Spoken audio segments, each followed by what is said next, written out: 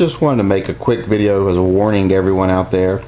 Uh, as we all know, guns are evil and they will hurt you.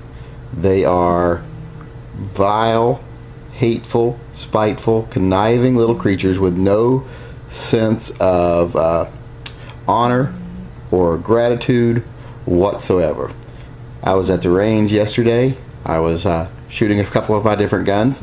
The guy next to me decides to leave. He grabs his range bag, puts his gun in it, and as he goes to go to pull his range bag away, the strap from his range bag catches one of my guns, my Kahr K40, and pulls it off the table. We have concrete floors at our range, so I didn't want that gun hitting the floor.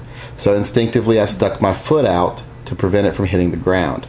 Being that it's summertime, I was wearing my Birkenstock sandals. Yes, I appreciate lesbian culture, so I do wear sandals in the summertime. Well, the gun landed square on my little toe. And as you can see here, four of these toes have toenails. The little toe no longer has a toenail. It shattered that thing like it was just, it just shattered it into a million pieces. It shattered it like it was made out of glass. That hurt so bad. So, just a warning to people keep your eye on guns because, like I said, they are evil and they will hurt you the first chance they get. You take your eyes off of them for a second, you let your guard down for a minute, and that's when they strike. So, don't trust them.